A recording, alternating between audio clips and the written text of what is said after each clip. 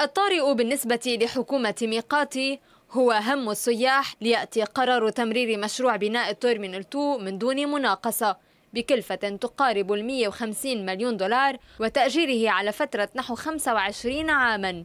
وهنا فضيحة العصر. كيف تم هال هال هالتلزيم هيدا غير اللي خلقك بيعرف؟ لأنه ما في قانون بيسمح فيه ولا في قانون بيسمح فيه.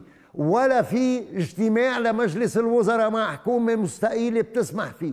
الوزير حمية استند في قراره إلى قانون رسوم المطارات. فماذا يقول القانون؟ إيجار المحلات المغلقة ضمن حرم المطار إلى سعر. إيجار الهانجرات بالمطار إلى سعر.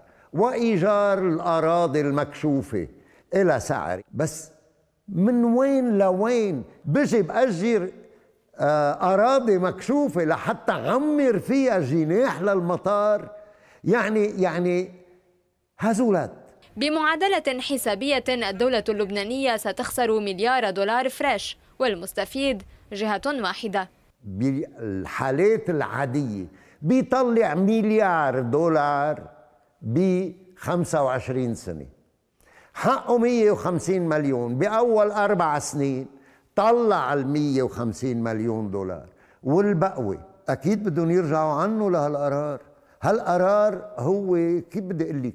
فضيحة الفضايح ما بعد الأزمة. الواضح أن ليس في هذا القرار ما يفيد المصلحة العامة بل تفريط بموجودات الدولة وبيع بالرخص. فهل المسؤولون في وارد العودة إلى مسؤولياتهم والتراجع عن هذه الصفقة؟